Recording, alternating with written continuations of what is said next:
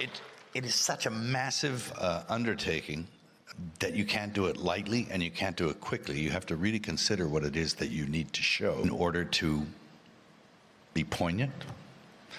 It can't be linear.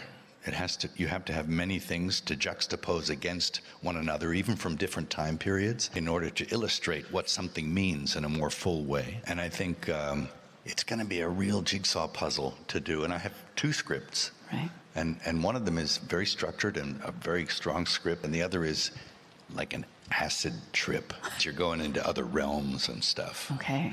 I mean, you're in hell. You're in, you know, you're. It's it's like you know, It is- you're watching the angels fall. Oh, you know? wow. It's like crazy. You know, Is it's crazy. Jim come back as Jesus? Of course.